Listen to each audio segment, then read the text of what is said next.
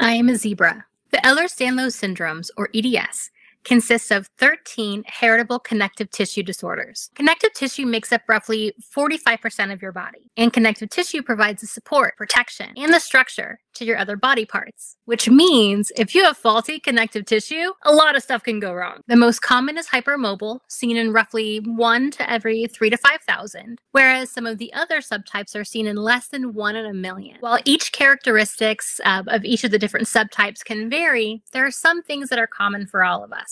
Things like joint hypermobility, skin fragility, joint pain, and just overall fatigue. Now, how it manifests in each individual person can vary greatly, even in between the same subtype, even in between the same family.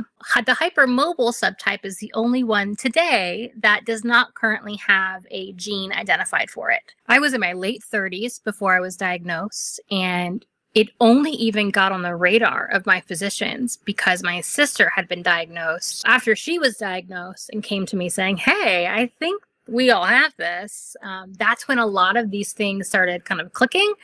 And even then, I went to my physicians, like, I think I have this. And I was told by some folks that no, you can't. It's too rare. They were kind of scared to be the first one to say that this might be it. I pulled my surgical records previously, and there I found in the operating notes that previous surgeons had noticed that I was actually hypermobile in the surgery, in the operating room, and had to change the way that they positioned me in order to basically treat me like a hypermobile patient.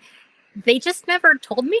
So uh, maybe they thought I knew. I don't. I don't know. This question is a bit triggering. How long? Too long. Putting a spotlight on these rare diseases hopefully means that when the next patient walks into your office and has some sort of unexplained issue, probably accompanied with normal lab tests and results, their physician will remember. maybe for that patient, it'll mean being diagnosed in months instead of years. To learn more, visit www.osmosis.org/zebra